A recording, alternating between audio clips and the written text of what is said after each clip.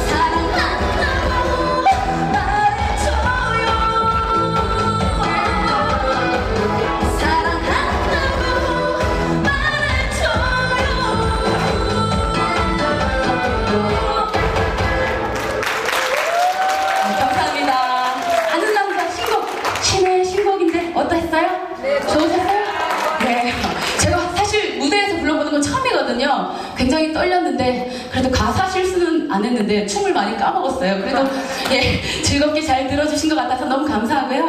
아 이제 예 무더위가 찾아올 것 같은데 그래도 어, 보험병원에서 여러분들 건강 관리 잘 하셔가지고 꼭 빠른 시일 내에 퇴원하셨으면 좋겠습니다.